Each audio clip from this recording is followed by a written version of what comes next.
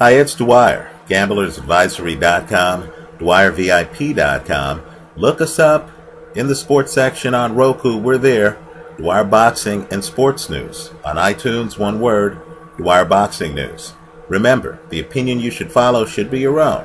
Just consider this video to be a second opinion from a complete stranger online. You know, when you're with a group of friends, and you hear about some fact situation where, you know, some person was out, might have had a lot of guns, right? Might have uh, had some extremist views, some, um, you know, militia type views perhaps. And you know, when you're talking about the FBI cracking down on that group, right? Um, you know, disarming the citizen who was out in the mountains someplace or on a compound someplace uh, who had a lot of firearms and stuff. You know, when in that group there's that person who, you know, says things like, whoa, whoa, whoa, I feel rights were violated. Right? You know, the idiot who says, whoa, you know what? The government overstepped their bounds in Waco. Right? The government had an overreach in Ruby Ridge. Right? What's wrong with having a lot of guns? What's wrong with people getting together and deciding to live on a compound? Why should I assume that the government's version of events is really what happened. Right? You know the you know the wacko who gets up and actually tries to defend Randy Weaver. Who actually feels that whatever the Messiah complex David Koresh had, the government used excessive force. You know that wacko who makes that argument well, you're watching a video from that wacko. Right? I'm someone who believes that the dream begins with freedom. Right? I want to put the cops on a short leash. Right? I'm very sympathetic.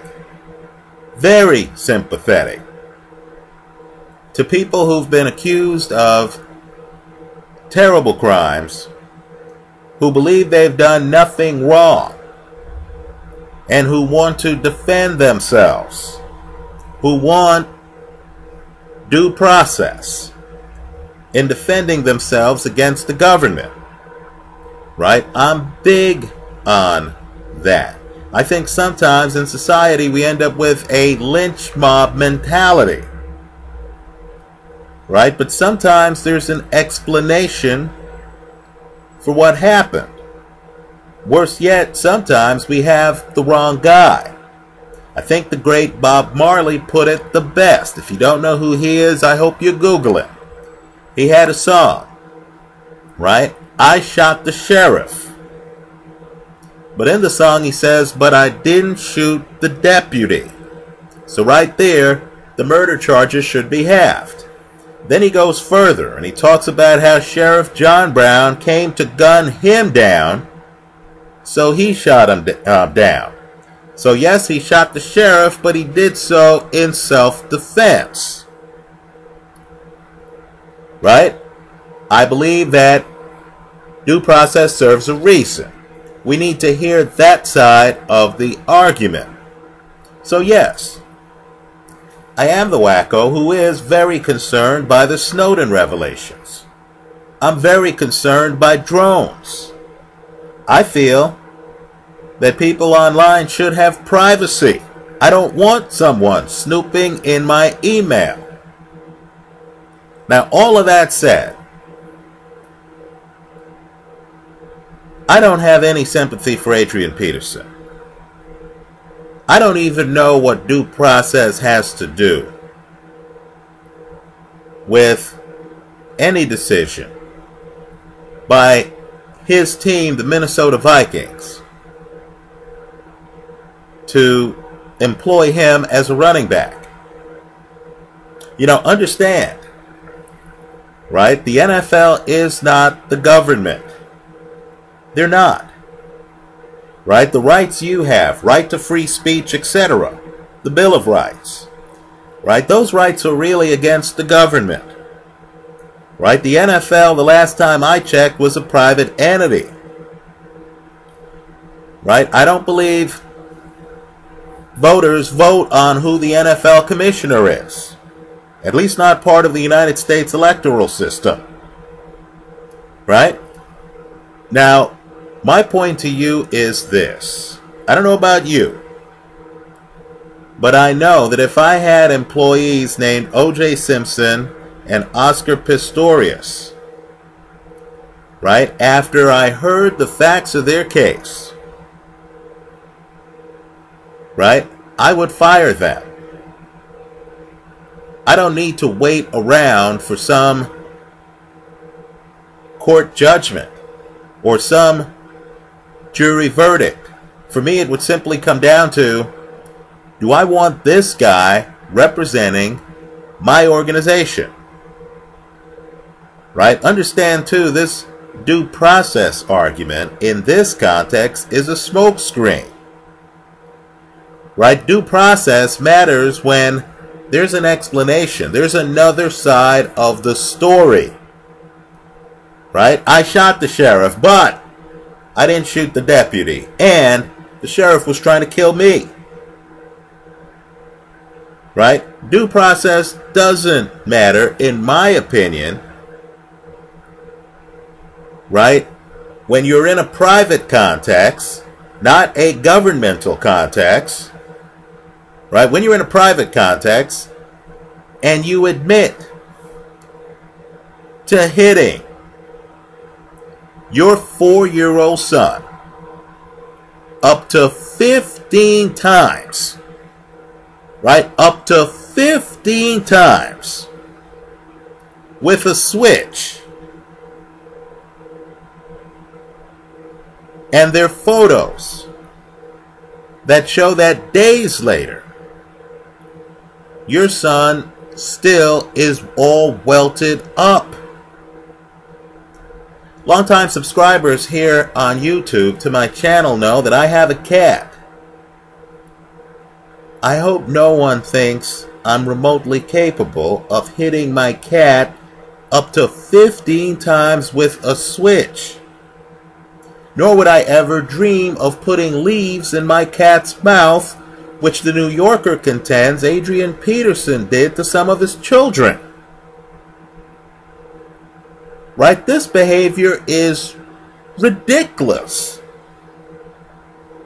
Peterson right now is not the kind of guy, in my opinion, many reasonable people would want working for their organization.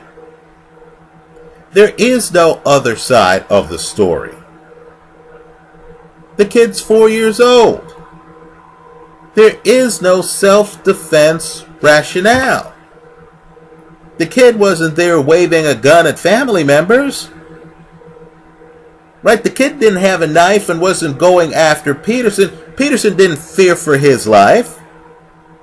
No. Peterson's stated reason for hitting a four-year-old up to 15 times with a switch was that he was disciplining his son. Let's hope Child Protective Services gets involved with the quickness. Let me also say this too. The New Yorker piece on this Adrian Peterson mess also points out that the mother didn't know. It wasn't until later, when the mother had left Peterson's Texas home, and she was on her way back to Minnesota, that she realized her four year old was having problems. That's when she looked at the kid's body and saw the injuries that are memorialized in the photos.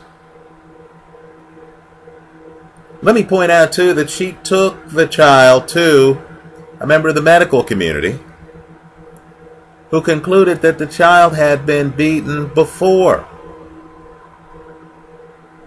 It gets worse. You know, you're unlucky if there's even talk of an investigation one time, if you're a parent, in terms of using excessive force against one of your children. Right? Something would have to happen for that to even be an issue, for people to even consider a criminal investigation against you as a parent. Understand, this is not the first time Adrian Peterson has been accused of excessive force against one of his kids. Right? Adrian Peterson, this isn't a one time event. He told the cops this is part of his system of disciplining his kids. This isn't a one time event. This is an ongoing problem. Right? It's ongoing. I would encourage people to Google the photos. They're eye opening. Right? The kid looks welted up. You can only imagine the ferocity of the beating. Right? Understand the kid's four. What's the kid going to learn from this beating? Right? What did the people watching this video learn when they were four? Right? You're, you're barely able at that age to remember to eat. Right? You're, you're lucky if you're actually thinking and walking at the same time at that age. Also, what exactly did the kid do to warrant this level of violence in response. So let's just say I applaud Nike and I applaud Radisson. Nike has suspended its relationship with Adrian Peterson. Right? They've heard enough. Right? Radisson told the Vikings, when the Vikings were talking about having Peterson back on the roster, hey, remove our logo from your news conferences, right? Because Viking people, in talking about this situation, had their corporate sponsor's name in the background. Right? These corporate sponsors don't need to hear a court of law say Adrian Peterson crossed the line. In fact, they don't even have to operate by the legal standard. They can have a higher standard. Right? I was an Adrian Peterson fan. At first, when I heard this story, I thought, how bad could it be? Then I saw the photos. In my opinion, it's so bad that if I were employing Adrian Peterson, even though he's one of the dominant running backs of our time, he'd be cut. He certainly wouldn't put on my team's colors for the rest of the year. Let's view it a different way. If Adrian Peterson came into your firm looking for a job, and you knew that he beat up one kid, a four-year-old like this, and was investigated for using excessive force against another of his children, would you hire him? Let me tell you, if I were an NFL team owner, I wouldn't even look at the tape of him as a running back. He'd be disqualified from the applicant pool. Right? Think about it too. This due process argument is so ridiculous. Think about the Ray Rice situation. Understand the official judicial system. Right? The government gave Ray Rice a slap on the wrist. I believe he got accepted into some anger prevention, domestic violence prevention program. He got a slap on the wrist. we all understood in that context that even though the legal system gave him a slap on the wrist, the NFL did not have to. That the NFL standard could be higher. Now, to the viewers, let me ask you if Ray Rice were applying for a job with your company, and you knew that Ray Rice had knocked out his girlfriend, right? Forget the latest tape. Let's just stick with the first tape. The way he treats her body. The elevator doors open. He drags her a little bit, doesn't even drag her fully out of the elevator. Her feet are just still in the doorway of the elevator. If you had just that tape, and if Ray Rice admitted to you, as he apparently admitted to the NFL, that he knocked her out, in other words, this wasn't a drunk situation where she just fell down of her own accord, right? She's unconscious because Ray Rice has just knocked her out. Is that a guy you would consider hiring? If that's not a guy you would consider hiring, then how could you have him continue to be a member of your organization? I think the Ravens did the right thing. Let him go. Right? I think the Vikings, off the information they have, there's there's no due process issue here. You already have Adrian Peterson acknowledging that he beat up his four year old in the manner evidenced by the photos. There are no allegations that I'm aware of that the photos have been photoshopped or altered. Those injuries were caused by Adrian Peterson. Right? Understand, the kid, the four year old, didn't independently say, hey, I'm going to go press charges and take himself down to a police station. No. The mother saw her son's injuries and knew this was excessive. Peterson did not have the approval or consent of the other parent right? Is this the guy you want trying to help your corporation sell sneakers? Is this the guy you want trying to help your corporation sell hotel rooms? Is this the guy you want trying to help your group sell tickets to your football game? In my opinion, the answer is no. I don't want to hear about due process. I don't want Rusty Hardin, one of America's absolute best attorneys, Roger Clemens' former attorney, Adrian Peterson's attorney here. I don't want Rusty Hardin telling me that I can't fire some guy who treats his kids this way. And I'm certainly not going to wait for some criminal court judgment or plea deal before deciding whether this kind of behavior is acceptable for my organization. So the way I see it, if I owned the Minnesota Vikings, Peterson would be out for at least the rest of the year. Let me point out too that I don't even see the contrition from Adrian Peterson right? I'm just hearing, hey, I discipline my kids the way I want, as if his kids are chattel. As if the decision on how much violence he gets to use against his kids is just his decision. As if society doesn't have norms or the right to say, hey, player, hitting your kid up to 15 times? Your four year old? Come on, please. Save the due process arguments. And this is coming from a guy who believes Randy Weaver was a victim of the United States government. Right? I think this Adrian Peterson situation is an outrage. You know, I think the due process argument, in terms of his employment with the NFL, that's a smoke screen.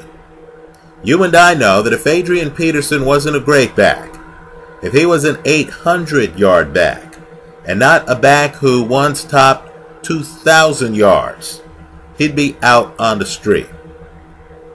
Let me hear from you. Leave your comments for me here online.